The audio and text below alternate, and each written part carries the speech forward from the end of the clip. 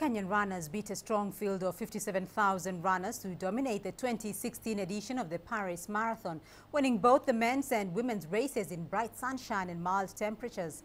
The runners from nearly 145 nationalities tackled the hard course in Paris. The race remained open until the final kilometers when 24-year-old Kenyan Cyprian Kotut sprinted to victory in 2 hours 7 minutes and 11 seconds. Countrymen Laban Korir and Stephen Chemlany completed the podium sweep.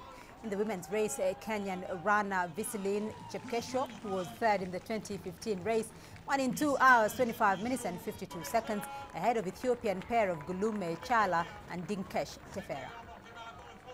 I could have, um, you know, being being my second marathon, I was, um, I was, I do fear before I, I, I came here bearing in the mind that there was a lot of uh, big names, and me was uh, just a 2'8 guy, and uh, to, to uh, the second marathon. But I'm, I'm, I'm surprised to have won this race. Surely I did what a marathoner should do before a race, but I was not expecting to win, so this, is, this came as a surprise to me.